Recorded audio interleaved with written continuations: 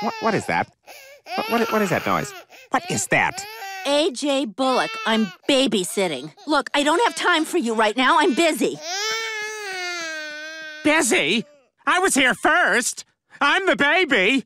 I'm the drunk baby. Oh, I've been up with that baby five nights in a row.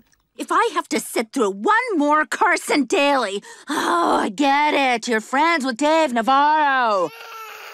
What now? Klaus!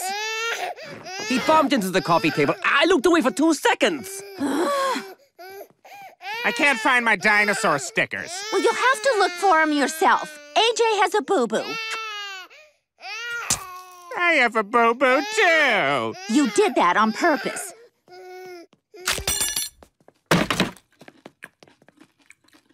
Ah! Roger, what the hell? Isn't it obvious? Sibling rivalry. Roger's jealous of the new baby in the house, so he's acting out. Yeah, what makes you such an expert? Joe Mama. Well played.